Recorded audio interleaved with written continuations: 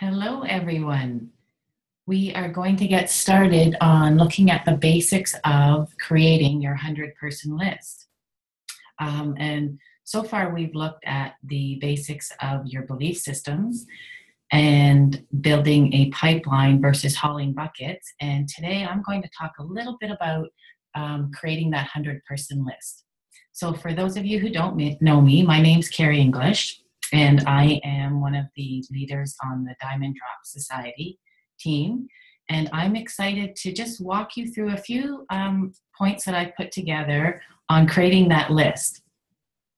So, when you first started this business, you might have thought that you don't know that many people. But believe it or not, by the age of 25, um, statistics shows that you know at least 2,000 people. So, what you're going to do is you're going to create a list that allows you to feel prepared um, so that you can do some prospect calls with these people. But what I want you to think of is that you're not going to create the list and then think that you have to call everybody right away. You're just going to keep creating this list and adding to it over time. Um, and what you will do with that list is connect with the people. And you want to connect with them when the time feels right. Um, what I did when I first started my business is I would say a little prayer um, at the beginning of the day and I would um, ask God who I need to serve today. And when I would do that, someone would pop into my mind and I would connect with them.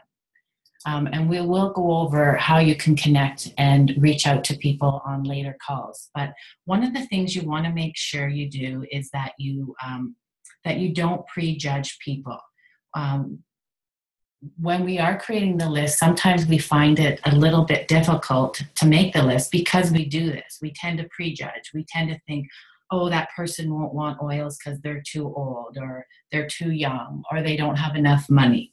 But what we want you to do is put um, down on paper anybody that comes to mind.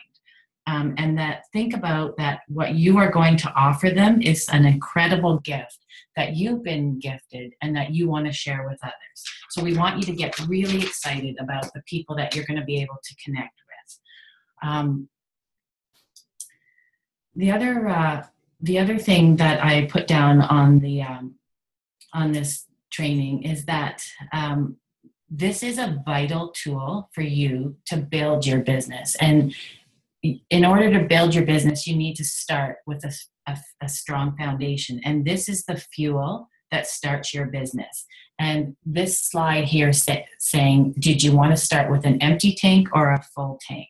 And by creating that list fills your tank so that you can start running with this business and connecting with these people. And over time you will continue to add to this list as well.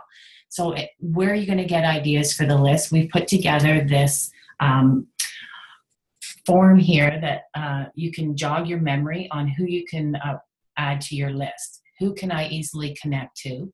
Who is in my warm market? So that would be your family and friends. Who am i related to? Who who would be interested in this um, think of anything that jogs your memory to add to your list. And i know for myself i'm always adding to it. If i meet someone else someone out in a coffee shop and i exchange information i add that person to my list. And when i reach out to them will be when it feels right for me.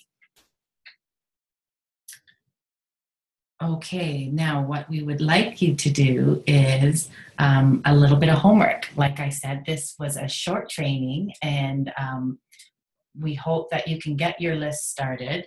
Um, one of the guest speakers that I've often listened to is Tiffany Peterson, and she is amazing for um, just motivating us and getting us going on um, creating this list. And she has an awesome video. Um, we'll add the link.